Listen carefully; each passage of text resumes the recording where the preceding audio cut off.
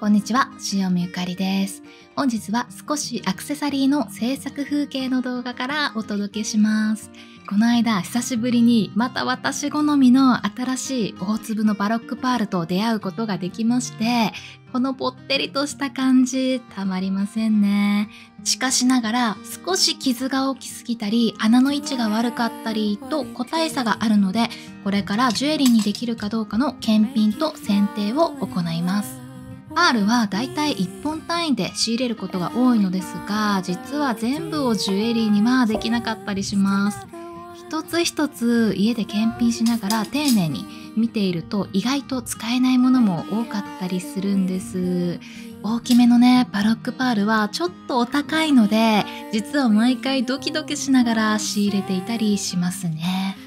動画で見る限りは綺麗に見えるんですけれどもね。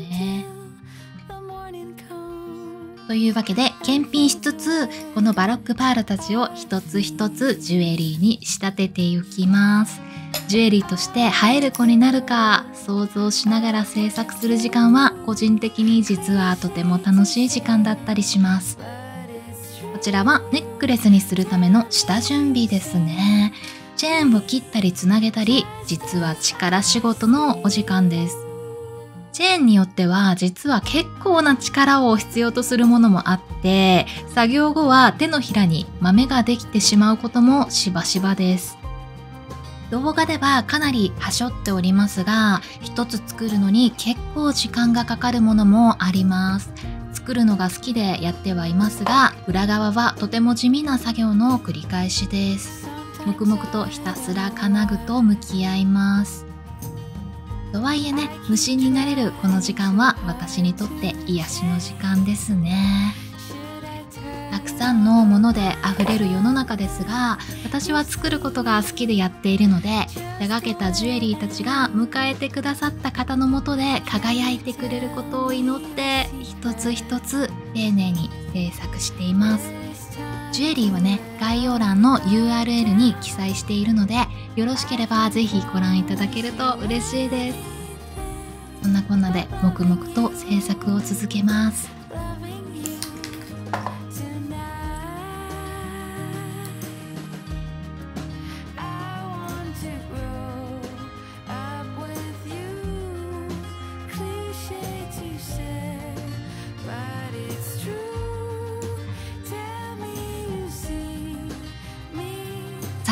動画ではかなり制作時間のカットをしましたがようやく完成しました。いやーかわいいですね。バロックパールは一つ一つ色も形も違っているところが人間の個性のようで大好きです。シルバーアクセサリーと重ね付けをしても楽しめるし夏場はシンプルなワンピースの主役としても映えるのでおすすめです。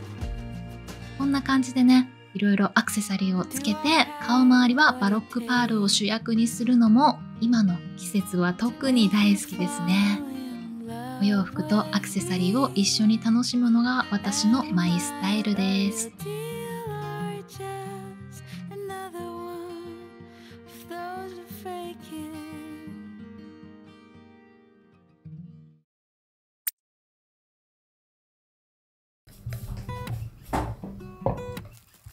この間久しぶりにチーズケーキを作りました。レアチーズが昔から好きなのでたまに急に思い立って作ったりしてます。最近は蜂蜜を使って砂糖を不使用にしてでそして広島県産のレモンを生搾りして少し酸っぱめに仕上げるのがマイブームだったりします。混ぜるだけでねこんなに美味しい食べ物ができてしまうんだから最高すぎると思いませんか？というわけで綺麗にカットしていきます。まあ一瞬でなくなってしまうのですが均等に分けまして。うんいい感じです。ついでに今回はいちごとラズベリージャムを作ってみました実はジャムは生まれて初めて作ったんですけれども濃厚で美味しすぎてなんで今まで自分で作らなかったんだろうというくらいハマってしまいましてもうなんかギュギュッと果肉たっぷりでレモンも少し多めに入れたので甘酸っぱさも私好みで本当に幸せジャムになりました。これはねまだいちごが売ってるうちにもう一度作りたいですね。使ったレモンは蜂蜜漬けにして皮までいただきます。広島県産の防腐剤不使用のものを購入するので安心して食べられます。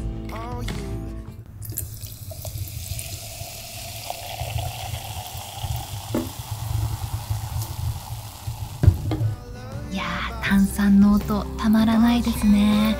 私は炭酸ジュースにするのが大好きでこれからの季節はレモンを凍らせて氷代わりにしたりもしています。というわけでいただきます。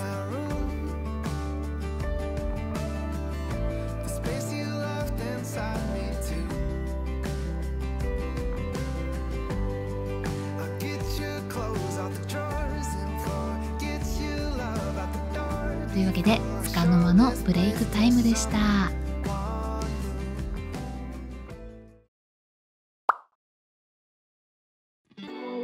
さてさてゴールデンウィークですね。私は今年のゴールデンウィーク後半は実家へ帰ろうと思っているので何を着て帰ろうかなということで旅行に行く時の数日間分のお洋服とコーデをテーマにお届けしていきたいと思います。利便性と快適さとテンションの上がるお洋服たちをピックアップです。というわけでまずはこちら。もう暑くなってきたのでタンクトップでもいいかなということでユニクロのリブタンクトップは欠かせません。洗濯してもすぐ乾くしこれは1枚持っていくと何かと便利なお洋服です。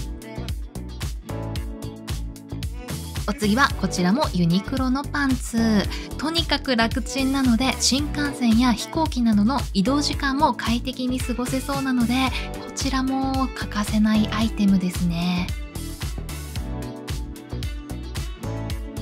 最後は少し薄手のカーディガン。こちらはルーズ M クラスのものです。少しオーバーサイズで絶妙な長さなので羽織ると様になる最近のお気に入りアイテムです。ということで、これらを着る前に、まずは装備タイムです。ということで、シンプルなコーデには、やはりアクセサリーが欠かせないということで、あれこれ装備いたしまして、至ってシンプルな大人のカジュアルコーデです。1つ目のコーデは、とにかく快適さを重視して選んでいます。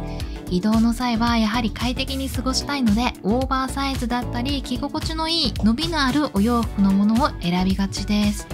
とはいえアクセサリーさえあればこのままショッピングに行ったりカフェに行ったりもできる私の中では万能楽ちんコーデです。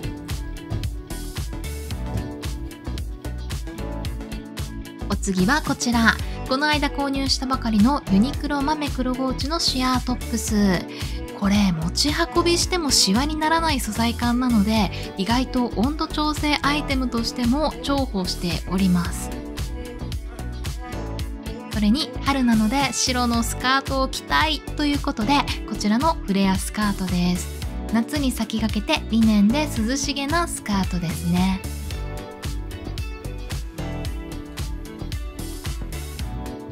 というわけでホワイトコーデをしたいので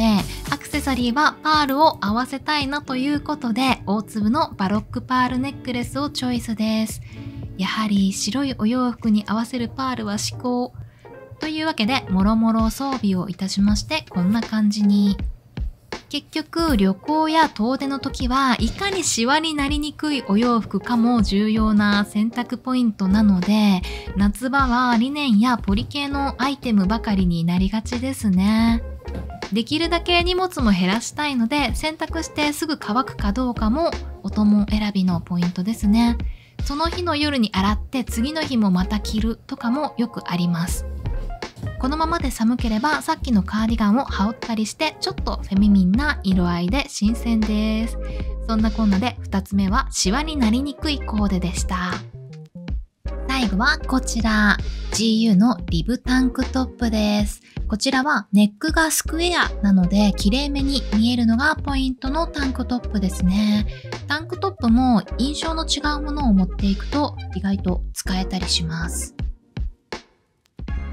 そしてまたもやリネンアイテム登場ユニクロのリネンシャツです。リネンのシャツはシワになりにくいというよりはシワになっても困らないのでついつい旅行に選びがちなアイテムだったりしますね。やっぱりね今の時期はいいんですよねリネン。ということで少しきれいめに着てみるということでロングのパールピアスなどを装備しましてリネンシャツを羽織って少しカジュアルダウンしてバランスをとってみたりシャツは羽織としても使えるし着ても使えるのでやはりこれからの季節に一番本領発揮するアイテムだなと思っていたりします。羽織としても着つつ次の日はシャツとして着ても気分転換になるのでシャツも一つ持っていくと便利なお洋服ですよね。ということで最後はこれだけでも着回しができちゃう系のコーデとしてアイテムをピックアップしてみました。数日間の旅行や遠出の際はアクセサリーをいろいろ持っていきます。最後に私のアクセサリーの持ち運び方法をサクッとご紹介です。その日の気分に合わせて身につけたいのでこうやって小さい袋に入れて傷もつきにくいようにしてジュエリーポーチに入れて持ち歩いたりしています。アクセサリーでメリハリや気分転換をするタイプなのでアクセサリーは旅にも欠かせませんね。荷物にもならないし欲張っていろいろ持っていくこともしばしばです。ということで最後にそんな風景をお届けしました。この動画少しでもお楽しみいただいておりましたら高評価やチャンネル登録お待ちしております。それではまた次回の動画でお会いしましょう。バイバイ。